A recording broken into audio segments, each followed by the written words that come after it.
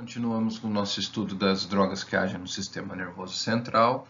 É, vamos trabalhar com uma classe de fármacos bastante importante e antiga, né, é, dentro da química farmacêutica, que são os opioides, tá? ou opiáceos, dependendo da situação. Bom, vou começar com para vocês um pouquinho do que é, o que são, de onde são extraídos, do que se trata esse tipo de de substâncias, vamos chamar assim, eles não, não são considerados fármacos propriamente ditos, mas sim substâncias, tá? ou drogas, se preferir. Bom, então, eh, essas, essa, esses opioides são moléculas, são substâncias que foram extraídos é, de é, ópio. Né? O que, é o ópio? O ópio é um extrato que é obtido a partir de uma planta chamada é, de papoula, nome popular dela. Né? Então, é, da, dessa planta papoula se extrai o ópio, que é, um, é, uma secreção extrato, vamos dizer assim, né? E do extrato, os componentes que estão nesse extrato, é, nós obtemos é, o, moléculas que têm atividade que nós chamamos de opioides, tá? Que quando injetado nos organismos, causam determinados tipos de reações que nós vamos discutir hoje. E então, dessa forma, nós vamos chamar essas moléculas de opioides. Então, portanto, trata-se de moléculas é, naturais, né? que depois, claro, foram sofrendo modificações em laboratório químicas para chegar em novos opioides que nós temos hoje. Um breve histórico. Né? Então, o ópio é um dos medicamentos né, é, usado como medicamento, lembrando que o ópio é extraído da papoula, um dos mais antigos da humanidade. Por quê? Porque ele tem esse tipo de é, substância ou dessas substâncias, o ópio, assim, vamos chamar o ópio de um extrato, mas que pode ser seco também, né? Mas enfim, vamos chamar de extrato. É, e ele tem uma série de propriedades quando injetado, ou quando inserido, ou quando administrado a uma pessoa. Né? Ela pode ser é, aspirada, que seja se for em forma de pó. É, de onde nós extraímos? Nós extraímos da papoula, também chamado de Papaver simniferum, né? Claro que isso tem a ver muito com a questão é, de causar sono, é, que essa, essa, esse tipo de secreção, né, esse tipo de, é, é de extrato produz, tá? É, então, é, e o uso dela, desse, desse ópio, tem descrições antes, 200 anos antes de Cristo, então é muito antigo, né? Mas ainda se você for buscar, não, não temos registros escritos, mas nós temos indicativo de que o, o ópio ele pode ter sido usado até antes disso, 3.500 anos antes de Cristo. É, no início do século XII, o ópio era usado como tônico para tratar desinteria. Né? Então aqui já vai te dando um indicativo de que essas substâncias que estão presentes no ópio podem causar e sedativo, né? Como eu disse, o próprio nome da planta vem da questão sedativa, remete a Morfeu. Tá? É, depois do século XVI, Paracelso, né, um importante alquímico da época, ou médico, se quiser uma correlação, né, introduziu o uso do láudano, que é a base do ópio também. Tá? E aí, veja que já busca, é, tendo de, de, desse... Então, o láudano, só, só é, para ficar claro, que láudano é um um, um extrato, vamos dizer assim, tirado ou derivado do ópio. Então é como se eu tivesse o ópio e dele feito algumas extrações, e aí as moléculas que eu obtenho agora, que eu vou chamar de láudano, que é um conjunto de moléculas, essas têm mais atividade analgésica. Então veja que o ópio tem uma série de substâncias, né? É, todas elas vamos chamar, aquelas que causam efeito, vamos chamar de opioide, mas veja que só aqui nós temos três efeitos é, descritos do ópio, né? ou das substâncias que estão presentes no ópio. A constipação, né? que ele corta a desinteria, é sedativo e analgésico. Tá bem? Então veja que como é rico esse extrato, é, esse, esse ópio, com relação às moléculas é, chamadas de opioides. É, primeiro foi comercializado na Inglaterra por um pirata, claro, o Laudano, né, Thomas Dover. É, Godfrey é, era um medicamento é, chamado assim, né, Godfrey Cordial. Era um medicamento livre de comércio e à base de ópio também. Tá? É, ele é, é não só do ópio, né, a base do ópio, de outros, outros extratos. Né, e ele é usado para tratar dor, principalmente. Era analgésico e para causar constipação. Então aqui vai contando para nós como o ópio, né, do ópio se foi obtendo novos extratos, é, fazendo alguns tipos de é, separação de algumas substâncias, e aí você vai concentrando determinados efeitos, né? É, e veja é, desde quanto tempo se usa o ópio, né? Mas só em 1803 foi possível isolar a primeira molécula derivada do ópio, extraída do ópio, que foi chamada de morfina, por conta dos seus efeitos com relação ao sono, né? Ela causava sono. Então veja que foram, é, nós temos aí de molécula é, morfina, nós temos por volta de 200 anos, né? 210 anos de uso, tá bem? No século XIX, um pouquinho depois dessa, dessa época, que ainda né, no século XIX, assim como 1803, é, ocorreu então a Guerra do Ópio, Veja quanto importante era esse tipo de extrato é, que no início do século, aliás, o século XIX inteiro, até o início do século XX, é, as moléculas que eram usadas na terapêutica, né, no tratamento de quase tudo que a gente podia tratar, todos eram derivados do ópio, extraídos do ópio. Então, o ópio, que era produzido basicamente na Indochina e na China, é, começou, ah, com esses povos fazendo independência com relação à Europa, começou uma guerra importante para ver quem que ia ficar controlando o comércio do ópio. Né? Então, uma guerra importante surgiu nessa época, no século XIX, entre China e Inglaterra, para ver quem controlaria o comércio do ópio, que era basicamente a base de, toda, eh, de todo o tratamento, os tratamentos disponíveis também. E na, na guerra dos Estados Unidos isso também foi importante, a guerra civil americana. Né?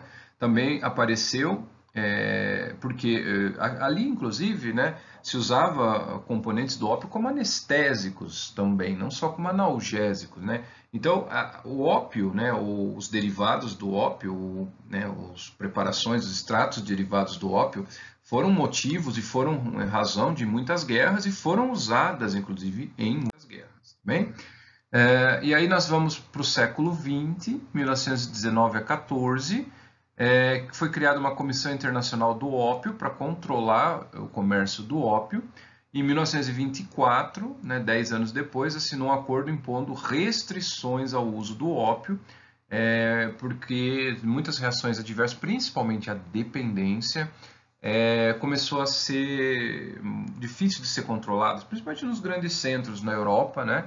Então, há, há registro que nessa, no início do século XX metade de é, populações de países, né, por exemplo, na Alemanha, pré-guerra, ou mesmo durante a, a, Segunda Guerra Mundial, mais da metade das pessoas no país era, era dependente de alguma substância opioide. Né? Então veja quanto é, foi importante esses, essas moléculas. Tá? Vamos falar rapidamente da morfina, que foi a primeira que foi isolada. Né? Veja, a isolar quer dizer que a molécula foi isolada do ópio, mas a gente não sabia a estrutura química dessa molécula. Simplesmente com alguns tipos de é, separações disponíveis na época, em 1803, né, os químicos conseguiram isolar um componente, porque eles não identificaram a estrutura, mas identificaram que tinha apenas um tipo de molécula ali, e eles chamaram de morfina. Então, a morfina é o principal princípio ativo do ópio. Ele é isoladamente um potente analgésico e é usado até hoje para dores, né, de dores crônicas e também agudas, tá? E aquelas de moderada a grave, né, ou mais severas, tá bom? Eles são classificados dentro da farmacologia como antinoceptivos. Nós vamos discutir um pouco de nocepção daqui a pouco também. E eles agem no sistema nervoso é periférico e central. Aqui está colocado só cérebro, mas ele também age no periférico. E no central, no cérebro, ele diminui o limiar da dor é, fazendo com que a, a, resposta ou a transmissão da dor para o sistema nervoso central seja menor, às vezes até mudando a sensação da dor, né? É, quando você é, imagina a dor com uma sensação dolorosa, aqui, além de diminuir essa sensação dolorosa, né, o sentir a dor, você também consegue ali fazer com que mude o tipo de sensação. Muitas vezes você pode associar até com uma sensação boa né? algo positivo sentir dor. Tá? E quais são os. Aqui eu coloquei efeitos colaterais, mas entenda bem. É, são tantos os efeitos que essas drogas, principalmente a morfina, causa, que para algumas situações elas são reações adversas, para outras são efeitos terapêuticos, tá? Então, é, o que causa, além de ser analgésica, não, antinonceptivo, que mais eu sinto quando eu tomo uma morfina? Então, aqui, ó, constipação intestinal, né? Tanto que antigamente era usado para tratar diarreia, né?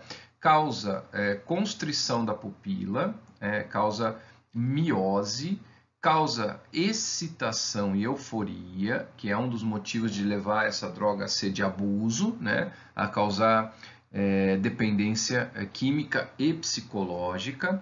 Ela causa náusea, né? quem toma um tramal intravenoso sabe o que, que é náusea, porque causa muita. Né? Pós-operatório, quando a anestesia é feita com fentanila, que é um tipo de opioide também, as náuseas pós-operatórias são muito importantes.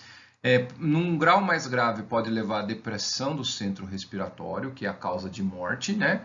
E ela causa, além disso, tolerância e dependência, que são dois conceitos importantes. É, tolerância é quando você tem o aumento dos receptores, os neurônios expressam mais receptores, então a, a eficácia ou a potência da droga diminui no organismo, então é necessário que você sempre vá ajustando doses para que você tenha o mesmo efeito.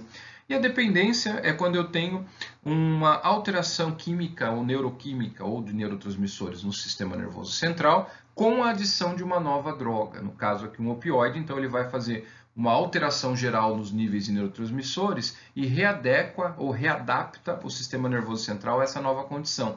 E aí eu fico então dependente químico. Bem, eu vou tratar basicamente aqui de dependência química, eu não vou entrar em dependência psicológica porque dariam outros desdobramentos e não é o tema da nossa aula hoje. Tá? Bom, quais são as estratégias que foram ou são empregadas para desenvolver analgésicos opioides? Então agora eu tenho a morfina, mas eu não quero só ficar com a morfina, eu quero estudar essa molécula. Então a morfina para nós é o protótipo. É a primeira, a extrato é, é natural, inclusive, né? Então ela não tem modificação química nenhuma. Mas claro que a gente vai pegar agora essa molécula e nós vamos estudá-la no sentido de ou aumentar a potência dela, ou diminuir a potência dela, ou diminuir alguns tipos de efeitos que você não deseja, ou é, fazendo que novos efeitos apareçam quando administrado. Então a gente vai usar agora a química farmacêutica, só que eu vou pegar a tradicional, tá? Eu não vou entrar aqui com modelagem molecular e nem sistemas de modelagem molecular. Tá? Eu vou entrar simplesmente com o básico, a química básica. Né? O que, que eu posso analisar, olhando agora para esta molécula, o que, que eu posso fazer e que tipos de estratégias eu uso para fazer novos opioides, esses sintéticos ou derivados da morfina. Tá? Então, primeiro estágio, eu tenho que reconhecer as propriedades farmacológicas. Né? É, no caso aqui, eu estou tratando ainda do ópio, nem, nem cheguei na morfina. Então, quais são as propriedades farmacológicas? Então, já listei no slide anterior quais são os efeitos gerais que o ópio ou a morfina causa, já que a morfina é o principal componente do ópio. Tá? No segundo estágio, eu tenho que extrair né, a molécula e identificar o princípio ativo. Então, foi identificado a morfina, mas veja, foi isolada, né? Então, veja, eu fiz a extração em 1803, mas a identificação química, isso foi no século 20, né? Ou no final do século 19 para o século 20, tá bom? Em que eu, a morfina já se conhecia desde o início do século 19, mas a fórmula química dela foi muito posterior que foi é, determinada, tá? Depois que eu tenho então a fórmula química, eu vou para estudos sintéticos. Eu vou tentar fazer esta droga no laboratório, que eu não dependa de extratos naturais né, para que eu consiga esta substância. Se assim nós tivéssemos feito no século XIX, não havia nem motivo das guerras a terem acontecido por conta do, dos ópios, é, as indústrias químicas dariam conta de sintetizar. É, não foi possível na época, a indústria química ela nem tinha esse desenvolvimento que tem hoje, evidente, e a gente não conseguia montar ou produzir morfina, mas porque não conhecia a estrutura química, né? Da morfina é, naquele período. Uma vez então que a gente consiga sintetizar a morfina, ou ela inteira ou uma parte dela em laboratórios, a gente vai fazer o estudo da REA, né? a relação estrutura-atividade. Isso aqui é importante para nós. Tá então, o que quer dizer isso? Eu conhecendo a estrutura química, eu posso fazer modificações pontuais e avaliar as alterações farmacológicas que essas alterações produziram, tá? Por isso eu consigo fazer uma síntese de análogos. Eu vou produzir derivados da morfina, tá bem? Num estágio posterior eu vou desenvolver o próprio fármaco, né? Uma vez que eu escolha as moléculas que tenham melhor potencial né, de uso, como um efeito mais é, evidente em detrimento dos demais, né, ou segurança, diminuição de efeitos colaterais e tudo mais, eu vou fazer o desenvolvimento desse fármaco, né, que é aquelas fases que eu faço dentro da fase 1, fase 2, fase clínica, vamos chamar assim. Né? E, finalmente, eu chego no estágio 6, que é onde essas drogas agem. Né? Uma vez que eu sei que elas produzem um efeito no organismo, é, provavelmente elas devem ter receptores. E, então eu vou em busca desses receptores e estudo os receptores. Né? Então eu faço uma teoria baseada nos receptores da morfina. Por quê? Porque agora eu posso inclusive esquecer a morfina e, baseado nos receptores e como eles são, se comportam quimicamente, eu posso desenvolver fármacos que possam interagir com esse receptor em determinados pontos, modulando a atividade dele, ou servindo como agonista, agonista parcial, ou até mesmo antagonista. Tá bem? Então, essas são as fases que a gente vai, que usou né, da química medicinal clássica para se ter hoje né, a maior parte dos opioides que nós temos disponíveis para uso. Tá? Então aqui está a morfina. Né? A morfina tem essa estrutura química bonitona aqui. Ó. Ela tem, é, são quatro, cinco anéis, vamos dizer, né? cinco anéis que a morfina possui, tá vendo? É, sendo que um deles ele está em outro plano, tá vendo que interessante? Ó? Isso aqui está num plano fora dos planos que estão os anéis aqui de baixo, tá bem? É, esses anéis podemos dizer, depois a gente vai ver é, 3D como é que ficaria essa molécula. Tá? É, ela foi determinada é, muito, muito posterior. Tá? Em 1853, a gente conseguiu fazer a injeção hipodérmica dela, né? mas a estrutura química foi um pouquinho depois. É, vamos olhar como é que fica essa estrutura em três dimensões, né? ou, ou buscando, tirando ela desse plano que está desenhado aqui ela tem essa, olha que curioso, ela tem esta estrutura aqui. Então, veja que os anéis, é, vários deles, eles vão ficar no mesmo plano.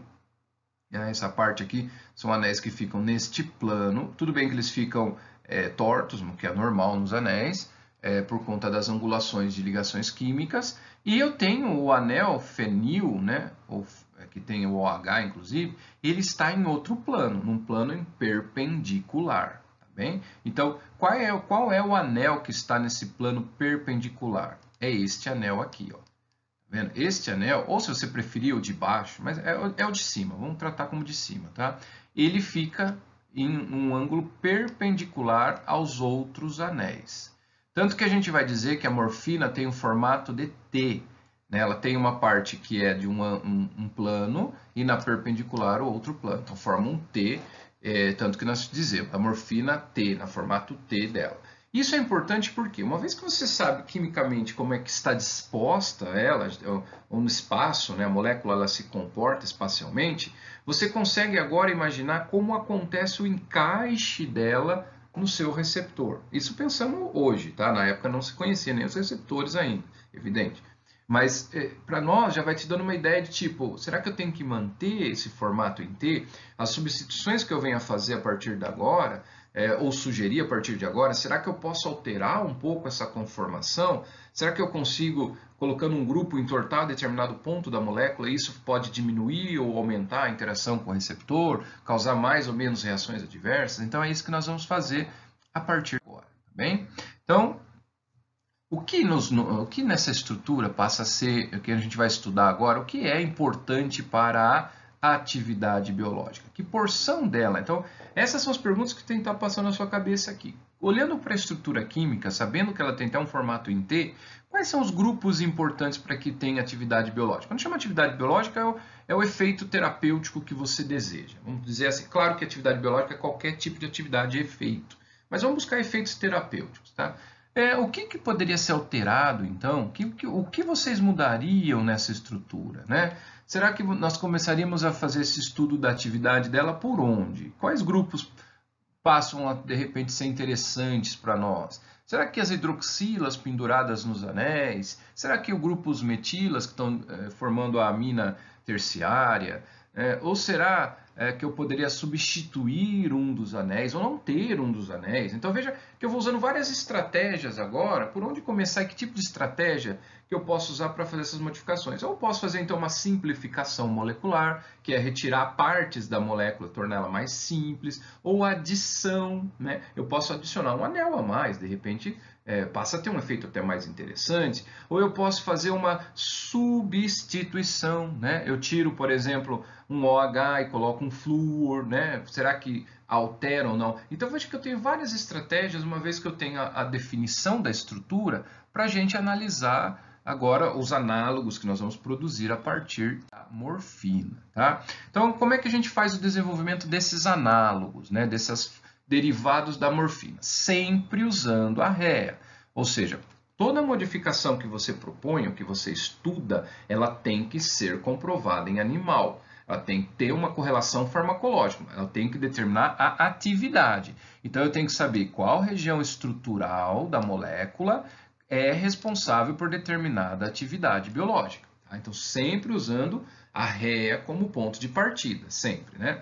Então, o que, que nós vamos estudar agora? Quatro pontos importantes. Então, vamos fazer variação dos substituintes. Né? Então, eu vou ficar trocando moléculas que estão é, em volta ou dentro, né? mas substituintes. Substituintes é quando eu tenho, por exemplo, um OH e vou substituir por uma outra, outra molécula, né? um flúor, um CF3, por exemplo. Ou eu tenho uma metila, eu vou eu vou substituir por uma etila para ver se altera ou não o efeito. Tá? Esse tipo de variação dos substituintes. Tá? E depois a gente vai discutindo esses outros quatro modificações que eu posso fazer ou sugerir à medida em que eles vão aparecendo. Vamos começar com esta variação dos substituintes. Vamos entender o que, que nós temos aqui. Né? Então nós temos um anel aromático, que é aquele anel que fica é, fora do plano, né? aquele que fica em perpendicular com os outros anéis. E este nós descobrimos ao longo dos estudos de relação estrutura-atividade que ele é essencial. Tá? Esse anel que fica para baixo, né, no plano fora do plano dos outros anéis, ele é importantíssimo. Tá bom? É, eu posso substituir alguma coisa nele? Lembra que originalmente na morfina aqui era um OH, tá bem? Então, quando eu falo em substituição, vamos olhar para esse aí primeiro. Será que eu posso trocar alguma coisa aqui? Eu posso. Eu posso colocar, claro, o oxigênio vai manter. O que você vai colocar aqui é, um, é no lugar do H, o que, que eu posso colocar? Então eu poderia colocar uma metila. E se eu fizer assim, veja, o anel está preservado, mas agora eu coloco uma metila. E eu vou dar o nome disso de codeína. Tá vendo? Então, veja, já vai te dando nomes que podem né, ser comuns já, né, alguns podem conhecer, uma codeína. Então, a adição de um CH3 aqui levaria a codeína, né? E isso altera alguma coisa do efeito ou não altera? Será que acontece alguma alteração na atividade? Sim. Você fazendo essas substituições naquela região, você vai diminuir a ação analgésica, tá bem? Então veja como esse anel é importante e o substituinte que você coloca aqui diminui a potência da morfina. Se lembrando que a gente está partindo como a morfina o protótipo, tá? E se eu colocar um grupamento etila lá, né? um CH2 CH3, também vai diminuir a atividade biológica. E o que, que eu vou dar o nome aqui? Etilmorfina. E se eu colocar um acetil, né? Se você lembrar do acetil coala na bioquímica, ele é um C dupla O CH3. E se eu fizer isto aqui, né? Acetilmorfina, também vai diminuir, diminuir a ação analgésica, tá? Então veja que para você aumentar a ação analgésica da morfina, e é sempre comparado à morfina, tudo que a gente for falar, tá? Então você não pode substituir ou colocar substituintes naquela posição que vai interferir, vai diminuir a atividade. Em torno de 20%, tá? Diminui a atividade analgésica. Bom, vamos continuar nossos estudos aqui. E vamos olhar para outras regiões agora. Lembra daquela amina que nós tínhamos, a amina terciária, né, que ficava colocada aqui nessa região, aqui na morfina, agora eu vou chamar de X, mas era um NH, um NH com uma metila aqui na morfina, tá? Então vamos olhar agora o que, que poderia acontecer. É, vamos colocar nesse, nessa mina tornar ela uma amina quaternária, tá vendo? É possível fazer isso? Claro que é. E eu estou colocando aqui ó, um íon de oxigênio, tá bom? Então, se acontecer isso, o que, que acontece com a atividade analgésica? Diminui a zero, tá bem? É, se você substituir agora, mantendo a amina terciária, é, quaternária, desculpa, agora com duas metilas, né? Então, ela é, qual é a ideia aqui principal? Você ter uma amina terciária e uma amina quaternária, o que varia?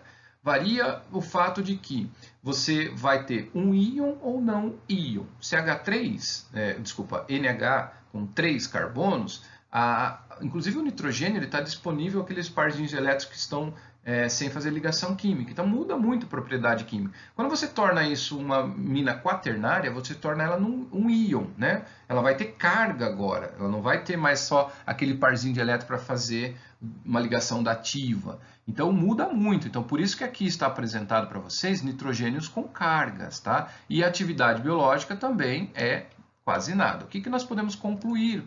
Então o nitrogênio é crucial uh, para a atividade biológica. Tá bem? Então, é isso que nós concluímos estudando esta, esta região aí. Então, o grupamento N-metílico, originalmente da morfina. Bom, vamos agora estudar um pouquinho da hidroxila na posição do anel que está naquele, naqueles três anéis que formam o mesmo eixo, que formam o T, né? a parte de cima do T a parte que os anéis estão coplanares. Tá? É esta hidroxila que nós vamos estudar agora. Será que ela é importante para a atividade? Será que ela muda alguma coisa? Então, o que, que eu poderia fazer, é, é, que eu vou chamar hidroxila, hidroxila alílica, né, na posição 6 do anel, é, que tinha um OH. Então, vamos chamar agora esse OH de R. Vamos manter o oxigênio, mas então o H de R, e vamos ver o que, que, que eu posso colocar ali. Né? É, repare que é, eu vou fazer um comparativo é, que eu poderia fazer, né, inclusive. Esse, esse carbono aqui é um carbono que está fazendo é, três ligações, duas delas com oxigênio, é, desculpa, com carbonos e uma com oxigênio. Então, eu tenho aqui um outro Hzinho, tá? Então, é, há aqui mais um hidrogênio. Então, se você for levar a mais aprofundado, eu poderia considerar o H da hidroxila, e o H que está nesse carbono como dois substituintes. Então eu poderia ter um R aqui e um, tirando esse hidrogênio daqui, eu poderia ter um outro R que eu vou chamar de R', tá? É assim que nós vamos nos referir a ele. Então, olha aqui, ó, R e R', tá bem? Eu tenho então, duas possibilidades de R aqui. Uma ligada no oxigênio e outra sem oxigênio, tá bem? R, R' ou R duas linhas, tanto faz, tá? Então, vamos chamar desta forma. O que, que nós temos de variação aqui? Ó? Nós poderíamos colocar um H, que é o original, né? com outro H. Eu poderia colocar 2H. Ou poderia colocar uma carbonila. Tá vendo? Então, isso muda muita coisa? Muda. Se você colocar, por exemplo, uma metila nessa posição, por exemplo, aqui, ó, nesse R, né? Você colocar uma metila, você vai chamar de heterocodeína. Se você colocar uma etila, dietilmorfina. Se você colocar um acetil, acetilmorfina. E nesta posição. E o que acontece com a analgesia?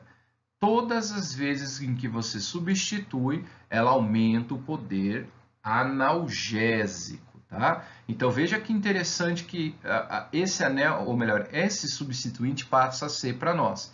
Então é fundamental que você, se você quiser aumentar, inclusive, a atividade biológica na questão de analgesia da morfina, você pode colocar um, uma metila ou uma acetil, né, um grupo acetil nessa região, em que você aumenta de 5 a 4, 4 a 5 vezes, 5 vezes, vamos chamar arredondadamente, né, a atividade analgésica. Então, tornam-se as drogas mais potentes, tá?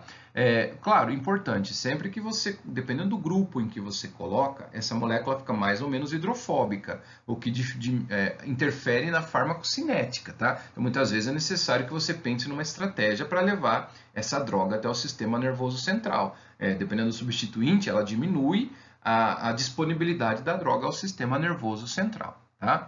É, essa dupla ligação aqui, ó, que está nesse anel, né, nesse anel que forma o coplanar aqui, ele é uma ligação que não é necessária. Se você quiser, pode tirar ou, ou substituir por outras coisas, tá bem? Então, ela passa a ser um ponto aqui que não tem relevância para Bom, vamos falar um pouquinho na, na, em outras questões agora. Então, veja que nós temos morfina, diamorfina, né? Então, que são essas diferenças que nós fizemos? Então, são essas, esses substituintes, tá? O que, que nós temos aqui? Vamos olhar aqui, ó. Morfina, tá aqui para você, ela é sempre o protótipo, ela é sempre o comparativo. Então, eu tenho acetilmorfina, olha que legal, ó. Eu coloco aqui, aqui nesse, nessa posição aqui, um acetil. E isso melhora e muito a, o efeito, o efeito terapêutico, vamos supor, o efeito relacionado à anestesia, à analgesia. Tá? Então, uma, fica quatro vezes mais potente que a morfina. Claro, se você aumenta a potência, aumenta a questão de segurança, diminui né, a segurança, torna a droga mais é, nociva, né? causa mais reações adversas também. Tá? Olha a diamorfina, que é a heroína. Olha que curioso aqui. Ó. Eu tenho, porque dia é, se eu colocar di, di é quer dizer eu vou colocar 2. 2 o quê? 2 acetil. Só que agora eu vou colocar aqui onde eu diminuo a atividade biológica, tá vendo? Então o que, que acontece? Aqui aumenta a atividade biológica, aqui diminui a atividade biológica. Pensando na questão de analgesia, tá? Sempre analgesia na cabeça. Eu, eu, será que um não compensa o outro? De certa forma, sim. Você colocando nessa posição aumenta quatro vezes. Se você colocar mais um acetil aqui, só aumenta duas vezes mais que a morfina. Mas para nós, independente de qualquer coisa, você cria uma situação em que aumenta a atividade relacionada à morfina. E mais, você pega dois grupos que são hidrofílicos e tornam mais hidrofóbicos. Então você melhora a biodisponibilidade, principalmente para o sistema é, nervoso central, é o que está dito aqui. Eu torno, por exemplo, a heroína, por ser mais hidrofóbica que a morfina, ela passa mais facilmente a barreira hematoencefálica e aumenta a sua biodisponibilidade ao sistema nervoso central. Tá bem? É, e também, claro, é, poderíamos pensar que ela ela, ela fica mais tempo também no organismo de forma geral, porque ela, de certa forma, ela é, ao ser metabolizada no fígado, ela continua com a atividade biológica. Então, além de demorar mais tempo para sair do organismo, para ser eliminada, ela, todos os metabólitos que vão sendo gerados quando passa essa molécula pelo fígado, as esteráses, as esteráses que estão no fígado e no cérebro, né? elas vão toda, né, toda metabolização gera novos fármacos, novas moléculas com atividade biológica. Bom, então vamos olhar agora a interação com o receptor. Né? Então, uma coisa foi ver os substituintes que nós podíamos mexer, onde nós podemos mexer e o que, que interfere na atividade biológica. Agora nós vamos olhar é, como isso pode encaixar, quais são os pontos de contato da morfina com o receptor. Lembrando que eu não falei nada dos receptores ainda, por enquanto a gente vai assumir que é uma proteína qualquer. Tá bem? Eu vou ter três regiões importantíssimas para ação, para ligar no receptor. Tá? Eu vou ter aquela região, aquele anel que fica na perpendicular, né, fora do eixo da, dos anéis coplanares, é, que é esse anel aqui, ó, tá vendo? Esse anel tem ligado nele uma hidroxila. Lembra que essa hidroxila é importante? O anel e a hidroxila são importantíssimos para a atividade biológica. Se eu não tiver, não tem analgesia, né? Então, esses dois pontos passam a ser interessantes analisar o fato deles poderem ligar o receptor, portanto. E de que forma eles poderiam interagir com o receptor? Então, esta região aqui faria que tipo de interação com o receptor? Né? Tá colocado aqui, ó. Elas fazem pontes de hidrogênio. Tá? E o anel? O anel faria que tipo de interação? Van der Waals, né? ou hidrofóbica, se você assim preferir. Já aquela amina também é importante para atividade. Lembra que nós, é, mexendo ali, nós é, acabaríamos com a atividade, zeraríamos a atividade biológica? Por quê? Porque nessa região eu faço uma ligação iônica com o receptor. Então eu tenho três grupos fundamentais para atividade biológica e para interagir com o receptor. E nós, inclusive, especulamos né, que tipo de interação é possível que seja feita. Bem? Bom, vamos agora ao segundo ponto, no segundo método da aula, sempre usando as relações de subtratividade, chamado de extensão dos fármacos. Né? Então, o que, que vem a ser extensão? Aumentar o tamanho dele. Então, agora que nós vimos os substituintes, o que, que eu posso substituir ou não, eu vou aumentar o tamanho do fármaco, ou da morfina, né, já que ela é o protótipo. E será que isso interfere na atividade biológica? Será que, dependendo de onde eu coloco essa extensão, será que aumenta a interação com o receptor? Então, são essas as perguntas que nós vamos escrever agora, tá bem? Então, veja que interessante, ó. Tenho três grupos que são importantes para a morfina interagir com receptores. Está claro lá naqueles slides anteriores. O que eu quero aqui? Uma morfina, portanto, que tenha uma interação a mais com o receptor.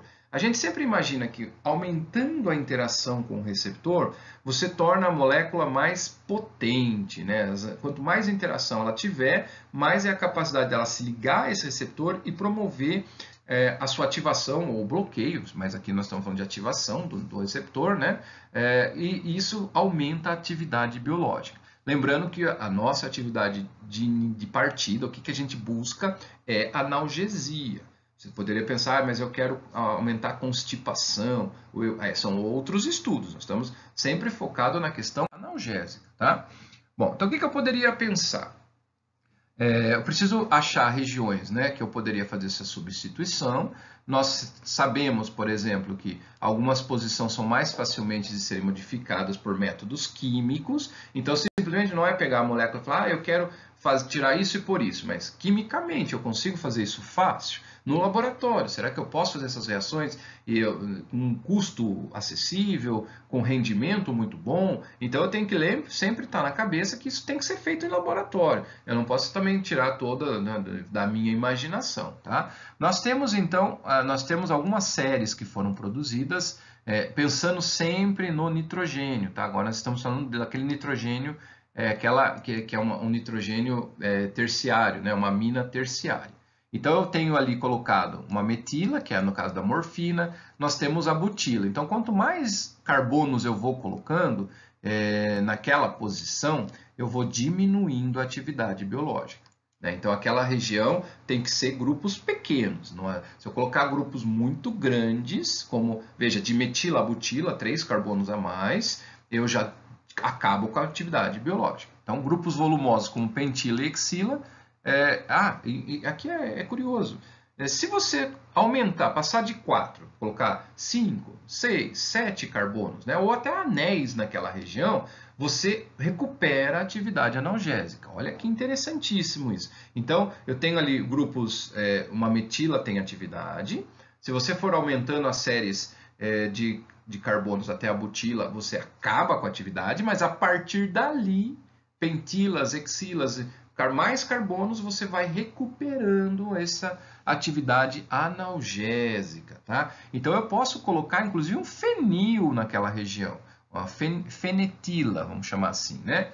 É, e fornece produtos, olha que curioso, 14 vezes mais potentes na analgesia com relação à morfina. Então, agora, veja, vou colocar um grupo muito grande, não é um grupo intermediário, intermediário não tem atividade. Um grupo muito grande de carbonos, uma quantidade de carbonos grande, para você sempre aumentar o poder analgésico. O que, a gente pode concluir com isso?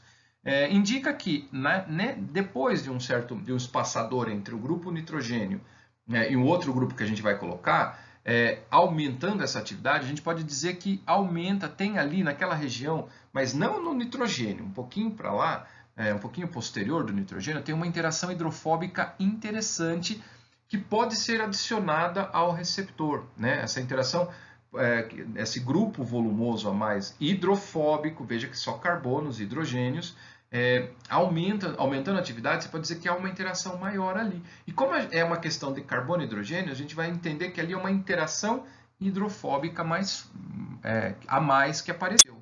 Por isso que a atividade aumenta. Então, olha aqui o, o nosso esqueminha. Ó. Lembra que o nitrogênio, né? o nitrogênio, aquela, nitrogênio que era o terciário, na morfina era uma metila. Aí o que, que a gente fez? Nós colocamos um espaçador e um outro grupo volumoso aqui, olha quantos, um anel, né? um fenil, por exemplo. Tá vendo? Então, o que, que a gente pode concluir disso? Que depois de um certo espaço, né? Então, a morfina encaixa aqui, ó, os três pontos de encaixe, nós já vimos, tá vendo? A amina, o OH e o anel que está ligado à hidroxila. Então, depois de um espaçador, eu tenho um outro grupo de encaixe que forma uma ligação, uma interação hidrofóbica, né? E torna a droga muito mais ativa do que era. Vamos imaginar que o receptor seja esta caixinha que está apresentado aqui. E eu tenho aqui, onde a morfina originalmente liga, esse T, tá vendo? Ó, que bonitinho. Então, aqui está o receptor da morfina, né? receptor opioide, e eu tenho aqui um local de encaixe da morfina original. Tá bem? O que, que, você, que nós fizemos agora? Ó, nós descobrimos que tem um outro grupo de encaixe aqui do lado, que só era acessado quando eu coloco um, um grupo espaçador de carbonos e um outro anel para formar uma interação hidrofóbica. Olha que curioso. Então aqui estava originalmente a morfina, lembra que a morfina forma aquele T, né? Interessante. E agora o que nós fizemos foi colocar um espaçador e mais um anel na morfina. Né? Então, agora ela tem um ponto a mais de contato com o receptor e claro que a atividade vai, a atividade biológica vai potência vai aumentar. Tá bem? Então, que, que grupos que nós testamos nessa região? Nós colocamos uma, uma alila, né? olha que curioso, um ciclo propilmetileno, tá vendo? Foi colocado. É, e o que, que a gente. E fomos gerando um monte de substâncias, tá vendo? Um monte de outros derivados da morfina. O que, que a gente pode dizer? Se você colocar grupos pequenos, como aqui, veja, olha, eu não coloquei anel a mais, eu coloquei dois carbonos, três carbonos a mais. É que tinha uma metila aqui, eu aumentei dois carbonos. Então, vamos lá, ficou uma, é, uma propila, mas uma propila com uma dupla ligação, por isso que eu vou chamar de alila. Isso não tem atividade, lembra? A atividade biológica zera. Mas esse fármaco, essa molécula, pode ligar no receptor? Claro que pode. Por que, que pode? Porque os grupos, aqueles três grupos que interagem, continuam interagindo. Mas o que, que eu fiz então? Eu adicionei um grupo que a atividade zerou, mas é possível que este fármaco se ligue no receptor. Portanto, o que, que eu gero com isso? Eu gero antagonistas de morfina. Então, são drogas capazes de agir como antagonistas.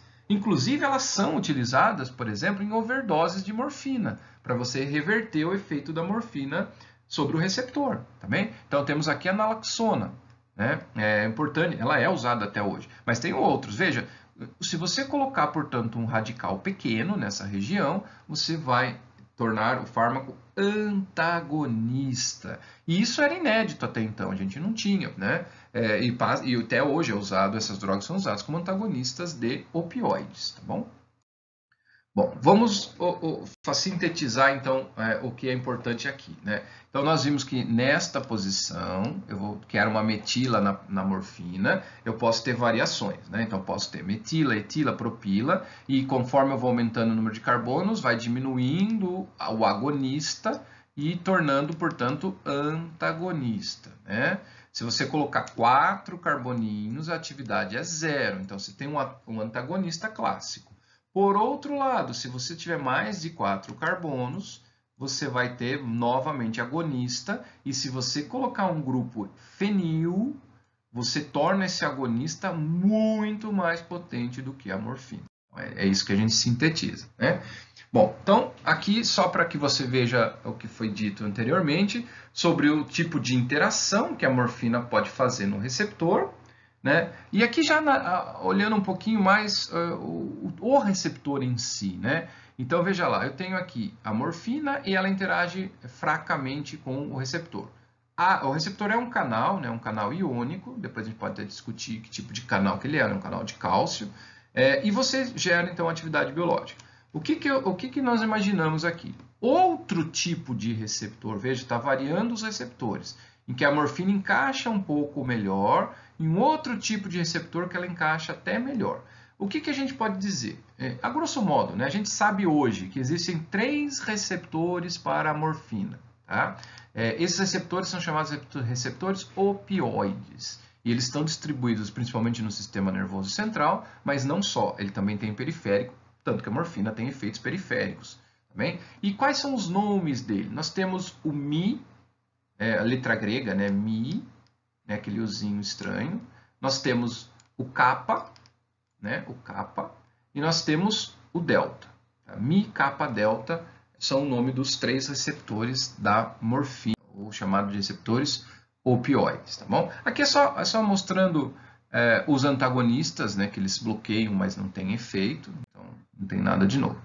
É, vamos olhar agora para o terceiro método de produção de moléculas novas, da, derivadas da morfina, usando agora a simplificação molecular. O que, que quer dizer isso?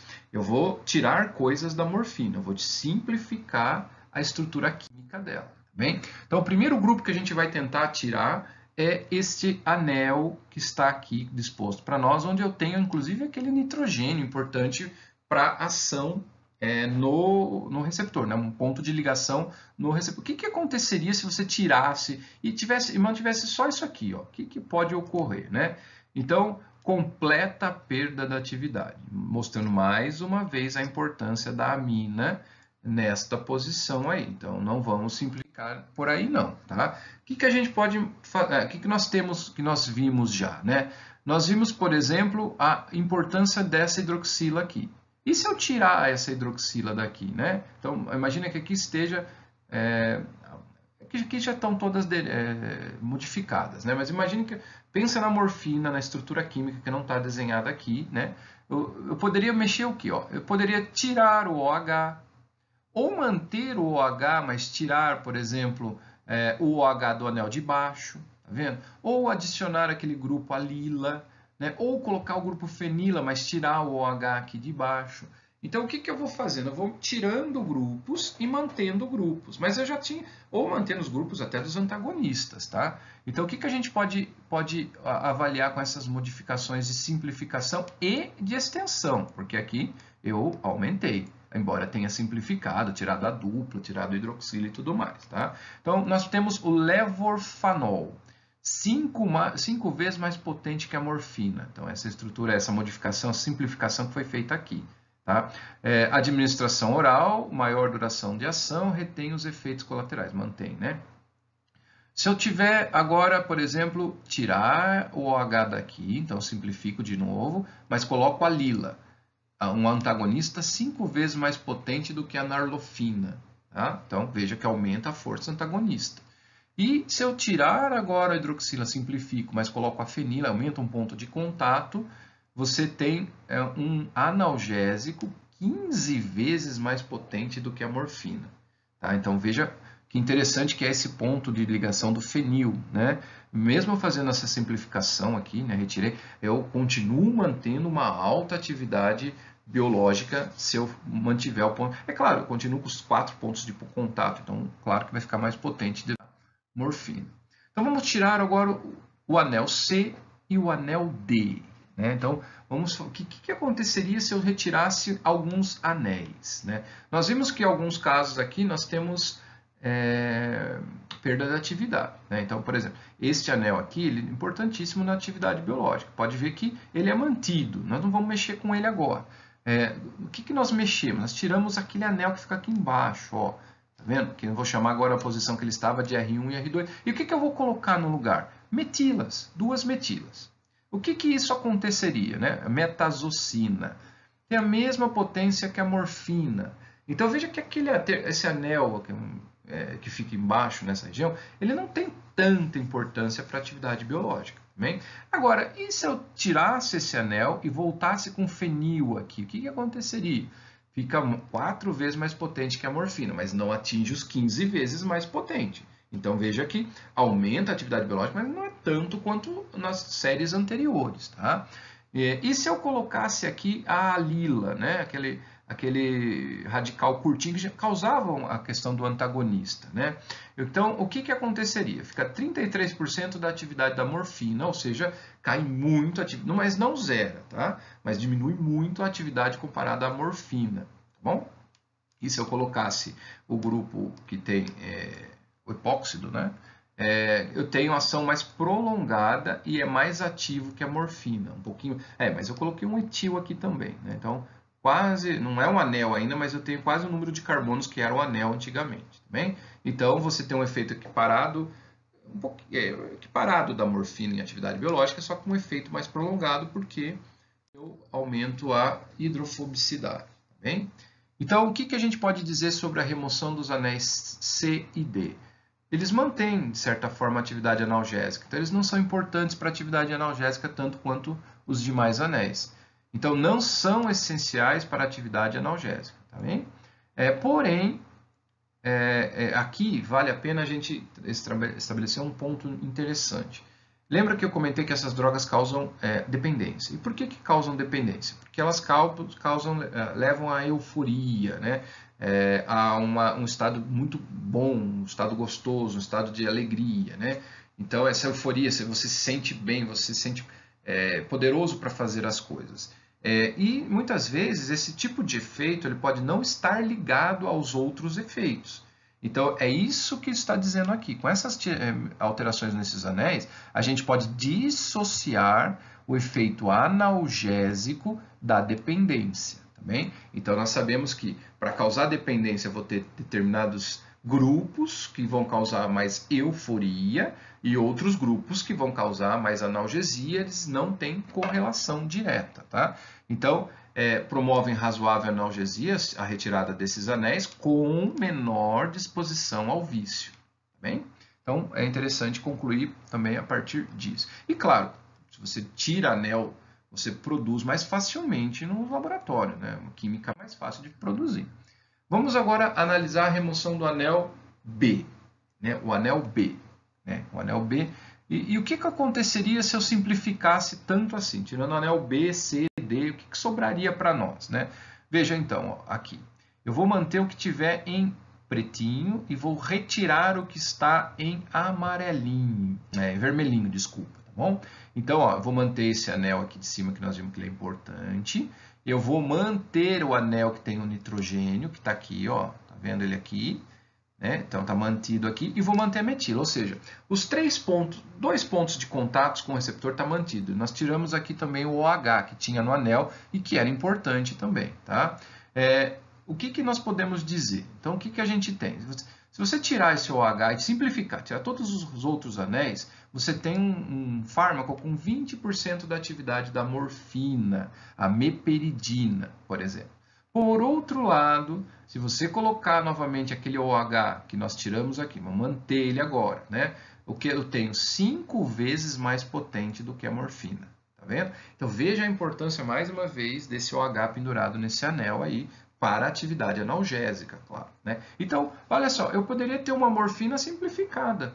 É, Para que todos aqueles grupos, aqueles anéis, eu posso manter só isto aqui e já tem uma atividade interessantíssima com relação à analgesia. Bem?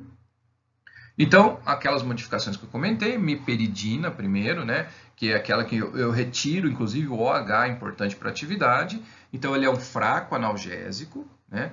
Porém, claro, é evidente, ele tem menos reações adversas, porque cai potência. Ele pode ser usado como analgésico? Claro, ele tem atividade analgésica, mas não é uma morfina. Então eu vou utilizar isso para dores agudas, geralmente, e leves, né? ou moderadas no máximo. Né? Ele tem uma, um início de ação muito rápido e uma curta duração. Então ele, a indicação é para o anestésico dos partos, né? durante um parto, por exemplo. Tá? é, são mais, claro, evidente, são mais facilmente sintetizados, porque eu não tenho toda aquela parafernália de anéis a mais que você teria que construir ou produzir no laboratório, tá bem? Porém, a gente, é, ele é tão simples, ele é tão simplificado que a gente fica na dúvida se o mecanismo de ação, o receptor dele é o mesmo da morfina. Né? De repente, pensando só em manter os grupos de contato, ou dois ou três grupos, você pode inclusive mudar o receptor. Né? E, os anéis eles podem estar numa conformação que eles nem encaixem mais no mesmo lugar. Porque a modificação que foi feita foi uma modificação importante. Tá? O que, que a gente vai trabalhar agora? Vamos pensar é, em grupos que eu poderia adicionar é, na região da, do grupo nitrogênio. Também. Lembra que alguns anéis a gente já vinha discutindo em outros. Então, nós temos o anel piperazina, piperidina. Esses anéis eles é, causam que tipo de ação? Aumenta é, a disponibilidade no sistema nervoso central não, né? Então, o que, que a gente vai fazer? Nós vamos colocar grupos alilas e ciclopropilmetileno é, que não geram agonistas, não são agonistas agora. Tá então, olha só que curioso, ó, eu tenho é, aquela morfina, é, morfina, não vou chamar morfina, mas aquela molécula extremamente simplificada que foi derivada da morfina, e agora eu vou colocar grupos no nitrogênio, tá naquele anel que ficou com nitrogênio, tá? Então, é mais ou menos o que está aqui, ó, ver? aqui, ó. Se eu fizesse isso é, na morfina, aqui está a morfina para nós. Né? O que, que nós vamos ter aqui? Nós teríamos é, o bloqueio da atividade. Né? Então, nós já vimos, por exemplo, que é, se você. Aqui aqui estou colocando uma, uma carbonila, né? não, é, não é só um espaçador.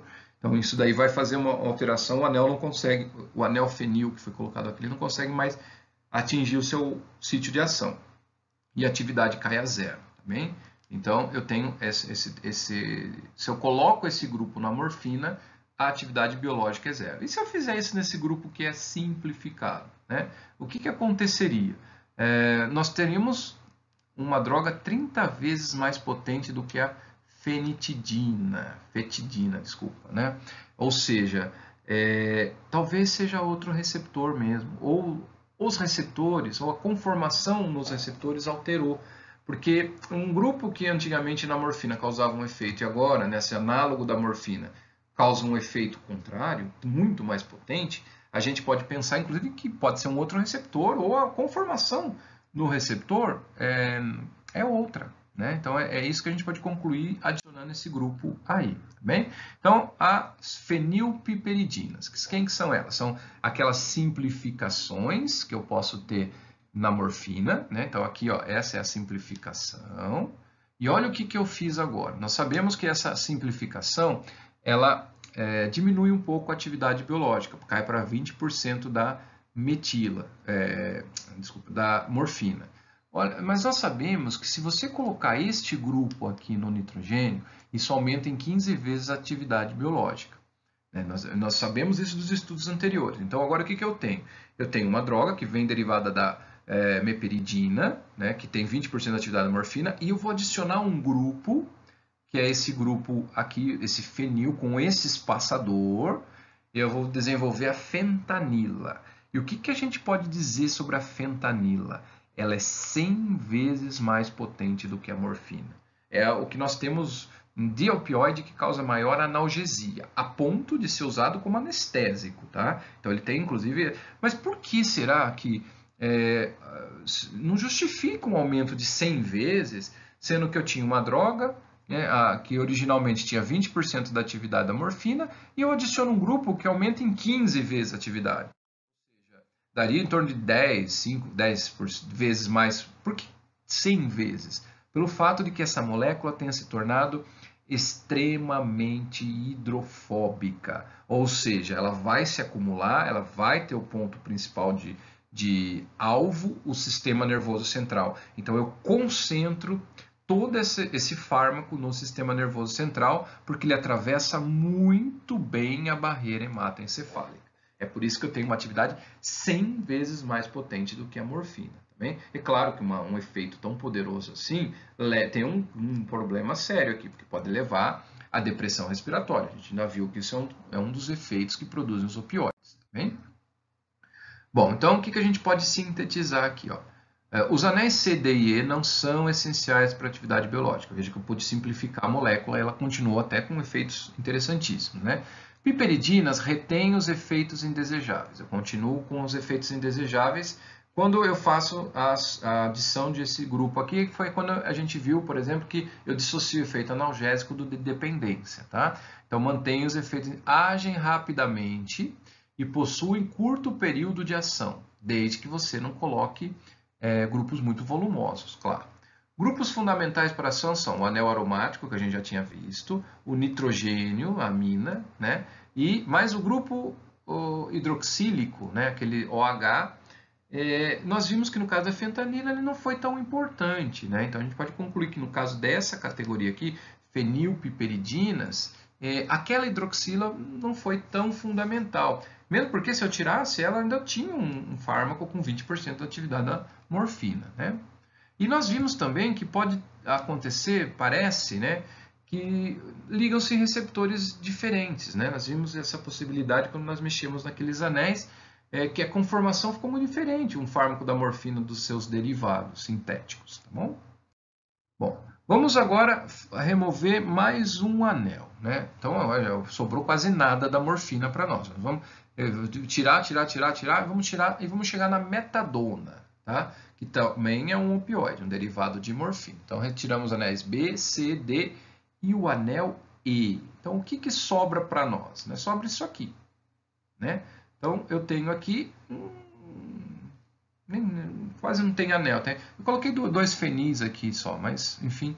É isto aqui que, que sobra para nós, tá? É, sendo que eu gero aqui, eu posso colocar aqui, eu tenho aqui dois fenil, tá? Esses fenis continuam aqui, mas o que sobrou da morfina foi isso aqui. Tá? É, e, claro, é, vamos olhar o que, que poderia ter causado, né, o que, que modifica isso se eu fizer uma simplificação tão, tão drástica assim. Eu tenho uma droga, é, dependendo do que eu for colocar, porque eu tenho pontos aqui que eu posso alterar. Né? Então, por exemplo, eu tenho aqui, nessa região, um carbono quiral, que é um carbono assimétrico, tá vendo? Então, causa um centro de assimetria. Se ele tiver uma conformação R, né, se o isômero que você for trabalhar for isômero R, ele é duas vezes mais potente do que a morfina. Se você trabalhar com isômero S, você tem um inativo. Então, eu vou ter que necessariamente trabalhar com isômero R, tá bem? Então, isso é importante, o centro quiral que foi colocado. E o que, que nós podemos dizer sobre a metadona, né, que é essa, essa molécula que foi colocada aqui? Não esquece que aqui tem um fenil também pendurado, são dois fenis, tá? É, Está aqui colocado. É, ela é parecida né, com a fentanila, é, contando que a fentanila tinha um anel a mais aqui, mas ela se assemelha à fenilpiperidina. Ela é administrada para você controlar os dependentes químicos. Por quê? Porque ela é um agonista parcial.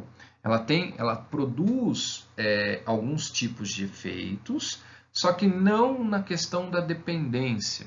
Então você pode usar a metadona como uma espécie de desmame para outros tipos de opioides, como a heroína, tá bem? Então é isso que esse é o principal uso da metadona. Então ela ajuda a controlar a dependência por opioides. Então reduz significativamente também a síndrome de abstinência, que é aquela situação que a gente passa quando a gente tenta é, tirar a droga que nos causa dependência química, tá bem? Então, isso é importante, ela, você diminui a síndrome de... Esse é um dos motivos das pessoas, inclusive, a voltar, a não dar conta de, de parar de usar, né? Quando ela tenta parar, ela sofre umas reações muito ruins.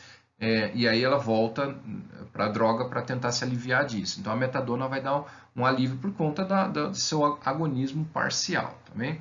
É, e também pode, ela é analgésica de qualquer forma, então ela pode ser usada para dores oncológicas também.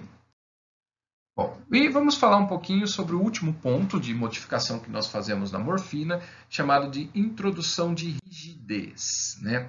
Que são, o que, que quer dizer isso? São grupos que nós vamos colocar agora que vão fazer com que a molécula fique estática, né? que você torne ela menos flexível. Né? Então, ela fica extremamente rígida. É como se eu tivesse anéis ou grupos que eu coloque que ingessam a molécula. Lembrando que os átomos e as moléculas têm vibração, têm rotação, eles podem girar, enfim, eles não ficam, não são estáticos, né? Então, à medida que eu vou colocando grupos na molécula, ela vai se tornando mais rígida, dependendo dos grupos, evidente, tá bem? Então, é isso que eu quero aqui agora. Eu vou trabalhar com uma, um fármaco, a tebaína, que é um derivado também é, é extraído do ópio, e eu vou introduzir, então, grupos que fazem, dificultem essa mobilidade é, ou essa rotação destes fármacos, tá bem? Então, o grupo que nós vamos colocar é este aqui, tá? Que grupo é esse? É um grupo, é uma cetona alílica, tá bem? Então, eu vou colocar este grupo e ele vai impedir, por exemplo, que o, o anel tenha rotação e tudo mais, tá? É, e depois eu vou... Aqui só está mostrando como é que eu faço a substituição aqui, né? Transformo OH em H e tudo mais. É, não precisa se preocupar agora em produzir, nós não vamos trabalhar aqui na QF agora com produção, tá? Isso vai ficar para TQF, para a próxima disciplina. Então, basta que a gente tenha colocado, então, um grupo rígido, tá bem? E o que, que aconteceria se eu fizesse isto?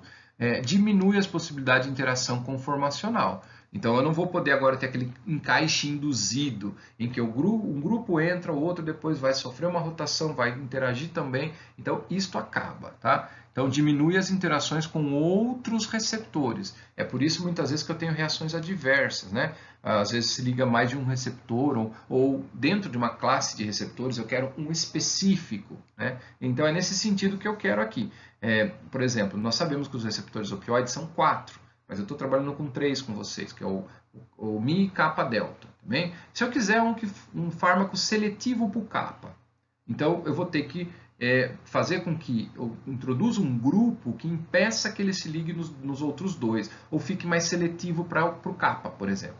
Então, é nesse sentido que eu faço a introdução dos grupos rígidos, tá bem? Então, aqui colocado para você, diminui a conformação, aumenta a seletividade por determinados receptores, tá? Então, aqui estava a morfina, e eu coloco aqui um, uma, um, um grupo a mais, tá vendo? Que torna é, o que está em azul, desculpa, tá? É só o que está em azul aqui, ó. É, o que torna ela rígida. Então, favorece a ação sobre um tipo de receptor apenas. Tá? Então, eu tenho uma atividade é, extremamente elevada para aquele receptor, que fique claro. Então, eles são seletivos. Tá bem? É, eu posso colocar é, uma extensão também. O que, que era a mesma extensão? Eram grupos a mais que eu poderia adicionar para você criar ou novos pontos de contato ou controlar algum aspecto farmacocinético da droga, então tempo, tempo é, duração do efeito, tempo de ação, biodisponibilidade, etc. Tá? Então o que, que a gente faz aqui? Foi, então foi introduzido um grupo rígido, o anel ficou rígido aqui, ó, tá vendo? E junto eu vou adicionar um grupo a mais. Tá bem? Então, estou, além de tornar o anel rígido, está aqui os grupos que tornam o anel rígido, eu vou adicionar algo a mais. Então, eu aumento a hidrofobicidade. Né? E o que, que eu tenho se eu fizer isto nesta droga? Então, as, as, o que, que eu obtive? 10 mil vezes mais potente que a morfina. Então, de certa forma, eu fiz a seletividade para um tipo de receptor que está envolvido principalmente com analgesia e não com as outras reações adversas, tá bem? Ou os outros efeitos. E claro, se você adiciona um grupo propila, você aumenta a hidrofobicidade, é carbono que você está pondo na molécula. Então ela facilita a passagem pela barreira hematoencefálica em 300 vezes comparado à morfina. Olha que curioso, né? 20 vezes tem uma, afinidade dele aumenta em 20 vezes pelo receptor que causa analgesia, né? Que é principalmente o receptor Mi. É, e só que, claro, uma droga muito potente, 10 mil vezes mais potente que a morfina, vai deprimir o sistema respiratório. Né? Então, é, não dá para utilizar esse tipo de droga. Ficou muito forte e o centro respirator, né, o centro de controle de respiração é afetado e a pessoa vem a óbito. Então, não, não, não tem esse, esse uso, tá? Mas, em todo caso, vale a estratégia que foi usada, né? Então, agora você pode pensar em classes que são antagonistas, como está colocado aqui, para esse tipo, oripavina, nem vou chamar de morfina, oripavina. Né? Então, quando a gente introduz o grupo rígido, a gente vai chamar de oripavina, não vai chamar de morfina. Tá? E aí eu posso, e, e veja que eles nem têm um uso muito importante, porque são anestésicos muito fortes, né? ou, ou analgésicos muito fortes. E aí eu posso criar um antagonista, um agonista e ficar trabalhando como, ó, tá vendo? Eu coloco aquele grupinho que causa o antagonismo nessa região. Então agora eu tenho um antagonista da orivapaína, tá? Então nada varia do que foi colocado. É, vamos falar um pouquinho então da teoria dos receptores analgésicos. Aqui que a gente vai entrar naquela história de quais são os receptores que causam analgesia, né? Então é, tem aqui o modelo clássico, que é um modelo que a gente sabe que não funciona muito bem, que é o modelo chave-fechadura, em que eu tenho um receptor único, um buraquinho, o fármaco vai lá e encaixa. A gente sabe que não é mais ou menos assim, não funciona mais ou menos assim hoje, né? mas a gente vai usar como uma forma de, de estudo apenas. Tá? Então está aqui os três pontos de ligação da morfina, como já foi dito para vocês. Ela tem então que existir um centro básico, né? um centro básico que é essa região aqui, né? É, claro que isso, se você colocar um grupo aminas aqui, você vai ter é, é, esse grupo amino vai sofrer efeitos de pH fisiológicos, que pode interagir mais ou menos com o receptor. A presença do anel, que é aquela região aqui, ó, que forma as, as interações de Van der Waals, é, é, tem que estar posicionalmente é, adequado para encaixe, na posição correta para encaixe. e a hidroxila, que nós vimos aqui, que forma a ponte de hidrogênio, ela tem que ser então capaz também de interagir com o receptor, os três pontos de contato, bem? Então a gente assume que o receptor tem essa cavidade aí.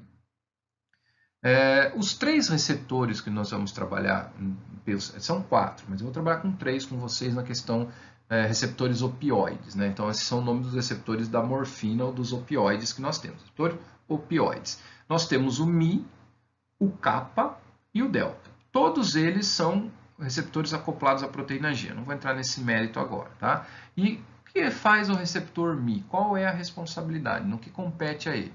Então, quando a morfina se liga-se a ele fortemente e produz a analgesia. E o que mais? Causa depressão respiratória, euforia e dependência. Bem? Então, o receptor Mi, que é onde a, principalmente a morfina se liga, é, ela vai produzir analgesia por conta desse receptor, principalmente. Bem? Não que os outros não participem da analgesia, mas eles participam, mas também outros, outros efeitos, tá bem? Por exemplo, o receptor kappa. Morfina se liga com menor intensidade a ele, tá? Então produz uma analgesia também, só que também, por se ligar ao kappa, produz sedação. Eles não causam efeitos adversos graves, como a depressão respiratória, por exemplo. Tá bem? E o receptor delta, que é o terceiro tipo que a gente vai trabalhar, é, ele é um receptor que vai interagir. Você sabia que nós temos analgésicos endógenos? É, são chamados de endorfinas, né? É, que são semelhantes às é, morfinas, os opioides é, das plantas, tá? Então nós temos sim as endorfinas que causam, controlam um pouco o sentimento de dor, né? A sensação de dor que nós temos. É, e principalmente quem controla o receptor delta, tá? é o receptor que vai se ligar preferencialmente às endorfinas. Não que a endorfina não possa se ligar no mio ou no kappa, pode também, mas principalmente no delta. É, ou as encefalinas também, endorfinas ou encefalinas, é a mesma coisa. É, e o que, que, causa se você interagir com delta? Né? Eles causam analgesia, claro, né? tanto que as suas moléculas endógenas também se ligam ali, e causam menos reações adversas como sedação, euforia e dependência. Então veja, o ideal, uma droga ideal para analgesia é aquela que possa se ligar nos três. Os três podem causar analgesia, levar a analgesia. Então, portanto, os três receptores estão envolvidos com o processo doloroso, né? Ou com a, o bloqueio do estímulo doloroso, assim que seja. Mas, porém, alguns deles têm outros efeitos, como euforia, outros já não, não têm. Então, quando a gente fica brincando com os tipos de opioides que a gente pode usar, a gente pode pensar mais potente analgésico, naqueles que causam menos dependência, que causam menos euforia e tudo mais, aqueles que causam mais sedação ou menos sedação, que podem ser usados, por exemplo, até como anestésicos, tá bem? Bom, então, aqui está colocado só um esqueminha de como funcionariam esses receptores, né? Acho que não é só para título de curiosidade, está aqui colocado o receptor delta para nós, né? Veja, é uma proteína, então esses, essas letras representam aminoácidos. Aí quando liga o agonista, que nos opioides são agonistas, né? Eles vão então fazer alterações na entrada do cálcio no neurônio, o que vai levar então à despolarização, e essa despolarização a propagar uma, uma despolarização do sistema nervoso central, e a sensação de, dessa ativação é de é bloqueio da dor. Não passa a não sentir ou diminui o potencial de dor. E aqui é uma síntese que nós fizemos de os tipos de opioides e os seus, a sua afinidade por esses três receptores, tá vendo? Então, por exemplo, vamos pegar um que nem é opioide, é um opioide natural, tá vendo? Uma endorfina. A sua endorfina, ela tem atividades semelhantes sobre os três receptores. A omicapa, afinal, ela é endógena principalmente. Né? Então, eu tenho outras, as encefalinas também têm ação sobre eles, mas preferencialmente sobre um tipo, tá vendo? Então, por isso que eu tenho vários tipos. Vamos chamar esses mediadores de neurotransmissores, tá? Só para ficar uma nomenclatura uniforme. Então, esses neurotransmissores próprios, né, neurotransmissor, molécula sua do seu organismo, eles têm mais ou menos a mesma afinidade pelos receptores. A exceção de alguns deles que preferem, por exemplo, o delta. O delta é o preferidinho aqui. Mas, por exemplo, a endorfina, que é a mais importante deles, ela age igualmente pelos, três receptores. E as drogas sintéticas, ou as drogas que foram extraídas das plantas, elas também, aqui nós podemos entender um pouquinho melhor, elas variam entre os receptores. Né? Então, a morfina, a codeína, age preferencialmente sobre o Mi. Né? É, vamos pensar na, na a, claro, a metadona, que é usada para controle da... É um antagonista, vamos dizer assim, ele é antagonista porque ele age também preferencialmente sobre o Mi. Tá bem? Olha o fentanil, o fentanil também é no Mi, preferencialmente no Mi. Tá bem? Então, Aí você vai entendendo um pouquinho melhor que tipos de efeitos essas drogas podem produzir, dependendo do quais, qual é o, não, veja que não há seletividade total, tá? Elas agem preferencialmente sobre um, mas sobre os outros receptores também. Por isso que você tem tanta variação dos efeitos de analgesia e dos outros que também verificados. Tá?